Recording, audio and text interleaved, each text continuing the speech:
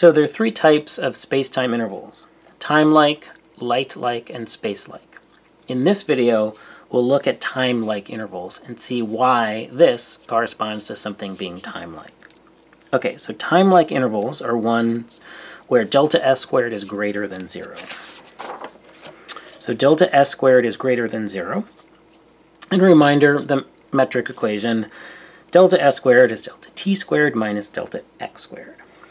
So let's think, um, if this is going to be positive, that means that this has to be larger than that. So let's try to picture that and think about what that might look like. So one way um, that this could be true, that we could get a positive number, would be if delta x is 0. So like if that's 0, then this squared is certainly positive. So let's consider that case first. And I'll draw um, a little space-time diagram, x and t. And a reminder that this interval, it's an interval between two events. And I'll put, know, let's call it event A and B. So this is the case where um, delta x So suppose delta x happens to be 0. Then the interval between a and b definitely looks like it's time-like, right? I mean, there's no delta x. The only thing that's changed from a to b is that they're at different times. Um, so this is sort of a sim the simplest case. But what if delta x is not 0?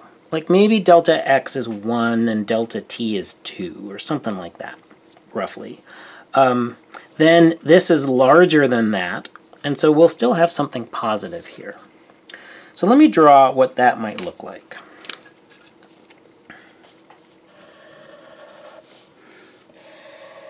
All right, so here's an x. And there's a time. And this will be A again. And maybe B is somewhere over here. So there's delta x. There's delta x between my fingers. There's delta t between my fingers. Delta t definitely bigger than delta x. So this is bigger than that. So we're going to get a positive number.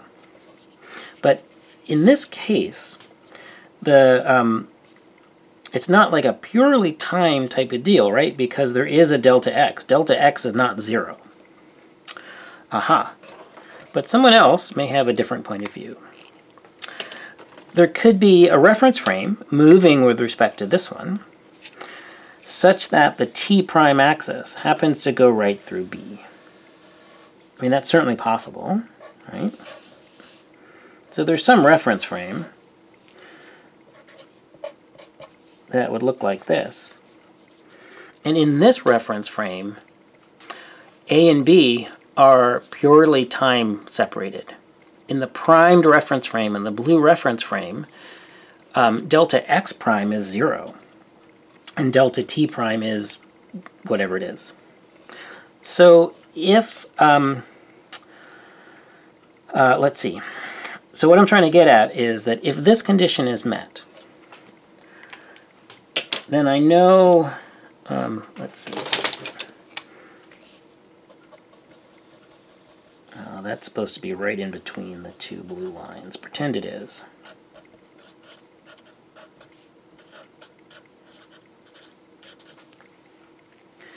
Okay, so if this condition is met, time is the time interval is greater than the um, space interval. That means this point B can be anywhere up in this upper triangle. This upper triangle are the points where t is larger than x. And if that's the case, I can always find some other reference frame. There's always some reference frame where A and B occur at the same place, and hence their separation is only time-like. And by the way, this might sound familiar, because what I've just described is um, how I defined the space-time interval in the first place. The space-time interval is the time read by a single clock, single inertial clock, that's present at both events A and B. And that, in this case, this would be exactly the clock who um, at the origin of this moving frame. This would be a single clock that would measure the event at point A and the event at point B. And we've seen that the spacetime interval is reference frame independent.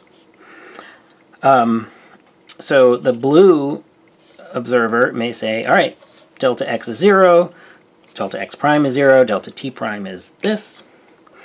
Um, so the spacetime interval is this. Well, over here in the unprimed frame, we'll have a delta x and a delta t that are going to be different than the blue ones. But everybody is going to agree on what the um, space-time interval is. And I guess the way we argued that is that the definition of the space-time interval, the time measured by a single clock, single inertial clock present at both events, doesn't make reference to any um, um, reference frame. It's, it's unambiguous in how it's, um, how it's defined. So, um, so these are time-like intervals. So let me summarize um, three features of time-like intervals. And so let me write these down, and then we'll talk about them.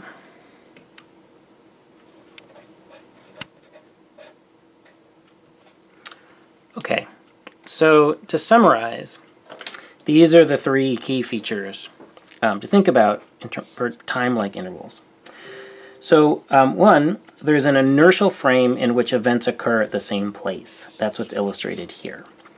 So in this frame, events A and B occur both at x prime equals 0. So their separation is purely time-like. The only thing that changes, according to the blue observers, is that these events are at different points in time, but not in space. So then the time between these two events, that would be the space-time interval, because in the blue frame, delta x is 0. And this, because it's time-like, is something we would measure with a clock. It would be a single clock present at both events. So it's time, right? So that's why it's time-like. Time-like are things we can measure with a clock. Just a clock. That's all we need is a clock. And then a reminder that delta S is frame independent. In another frame, like the unprimed frame here, um, delta x is not necessarily 0. Um, but nevertheless, if you calculate delta s squared using the delta x and delta t using the metric equation, you'll get the same result in any reference frame. So this um, is a quick summary of time-like intervals. And again, this, I hope this is familiar because we've talked about a lot of this before. Um, in the next video, uh, we'll talk about space-like intervals, and that'll be new material because we haven't really encountered um, space-like intervals and used the metric equation on space-like intervals before.